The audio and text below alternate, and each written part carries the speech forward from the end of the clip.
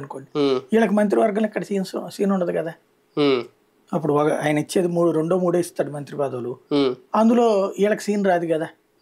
అందులో కేబినెట్ మంత్రి ఆయనకి ఇస్తారు కదా. అదే ఆయన సెంట్రల్కి వెళ్ళిపోయాడు అనుకోండి. వీళ్ళు కేబినెట్ మంత్రులు అవుతారు. ఏ కందులు దుర్గేష్ బొలిశెట్టి శ్రీనివాస్ వీళ్ళకి అవకాశం వస్తుంది. నిజంగా అలా ఎదురు చూస్తారా? నిస్- నిస్తేజ్ అన్న వచ్చేస్తుందా? ఇంకా అధ్యక్షుడు వెళ్ళిపోయాడు.